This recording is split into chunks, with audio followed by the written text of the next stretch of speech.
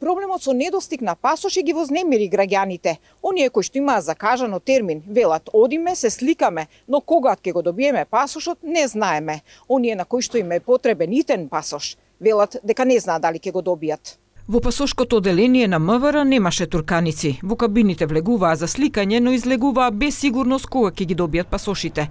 Дел од граѓаните кои мораат итно да отпатуваат поради бизнис обврски или пак голем дел од нив работат во странство, се револтирани поради тоа што ќе претрпат материјални штети, а некои можеби и да изгубат работата. Бараат одговорност. Да, имав термин денеска, да. Што ви кажа? И ме слика и ми река да дојам на 10 април. Затоа што после 24 ќе дојдат образците. Ама викам, јас сум пред месец дена, нема образци.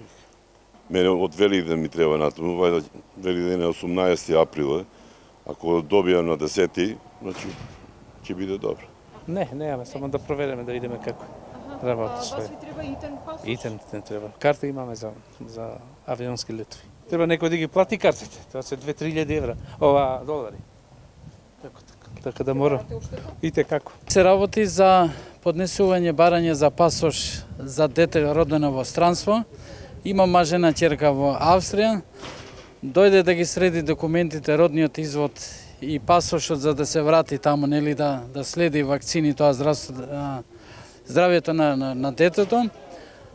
Но се соочуваме со некој проблем кој што првпат слушаме и гледаме. Луѓето што седна на ваквите столици треба да сносат одговорност, затоа што движењето на нас, граѓаните, што ни е загарантирано со уставот на ова наша земја, ни е скратено со ова постапка, со ова состојба. А околу одговорноста што ја бараат граѓаните, министерот за внатрешни работи Наке Чулев ја префрли на својот предходник Оливер Спасовски, но и како што рече, немањето слух за проблемот на целата влада.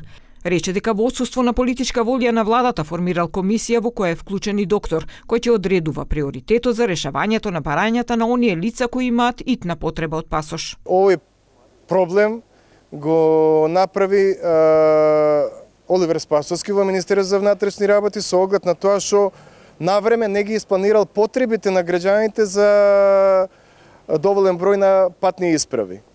Јас ја информира владата и еве и сега апелирам до владата да се изнајде начин и модус со кој што ќе се пролонгира важењето на а, веќе а, истечените патни исправи се до ден до, до пристигнување или до 6 месеци од од денот на пристигнување на нови патни исправи. Пред неколку дена Спасовски одговарајќи на ваквите обвинувања му порача на Чулев да работи и да го решава проблемот, а не да држи пресконференции. Инаку во моментов на располагање има околу 3400 образци за патни исправи, а над 16.000 барања за нивно издавање.